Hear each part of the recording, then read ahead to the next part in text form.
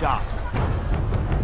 One bullet may have killed our beloved president, but not one man! You are charged with having received, entertained, harbored, aided, and assisted John Wilkes Booth, John H. Surratt, and their confederates in traitorous and murderous conspiracy to kill Abraham Lincoln, Vice President Andrew Johnson, and Secretary of State William Seward.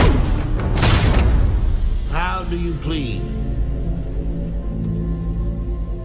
I am innocent. You aware the trial of the conspirators begins today? What are we to do? Defend one of the eight. Her son John was Booth's right hand. You understand what you've been charged with? If found guilty, you could hang. I am a southerner and a devoted mother, but I am no assassin. Your son was the only one who got away. These are despicable people, the same sort you risked your life fighting against. Someone must be held accountable. People want that. The military trial of civilians is an atrocity. No, no, what she did is an atrocity. To ensure the survival of this nation, I would do anything.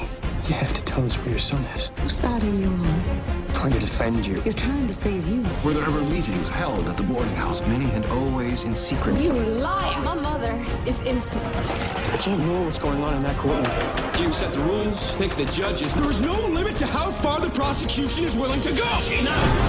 You tell John Surratt unless he surrenders, his mother will be punished for his crimes.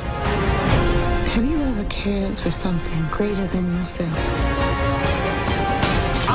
Our founding fathers drafted a constitution precisely for times like this. All those in favor? Do not permit this injustice out of revenge.